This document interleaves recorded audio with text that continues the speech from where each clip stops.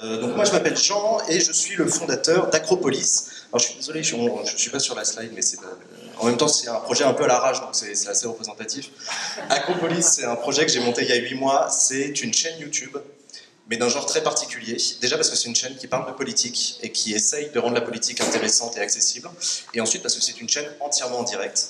Le principe d'Acropolis, c'est que je commente en direct les débats parlementaires à l'Assemblée nationale, euh, un peu comme si c'était un match de tennis ou une partie de jeu vidéo sachant que le but du jeu, euh, c'est pas de faire de la politique spectacle, mais au contraire de la rendre un peu plus intéressante, de la rendre plus intelligible surtout pour le public qui du coup euh, a l'occasion de, découvrir qui sont ces hommes et ces femmes en costard et en tailleur qui s'engueulent dans l'hémicycle.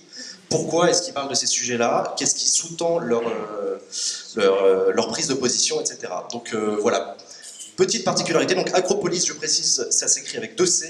Euh, vous pouvez aller sur acropolis.fr, vous pouvez vous abonner à la chaîne YouTube. Euh, et voilà. Et aujourd'hui, petite particularité, j'ai installé mon, studio vidéo là-haut euh, dans, une pièce et je vais interviewer des petits formats courts de 5 minutes, les porteurs de projets, parce que ça fait partie des choses que j'ai envie de montrer aussi aux spectateurs de YouTube. Des projets cool, innovants, pour la démocratie. Donc voilà.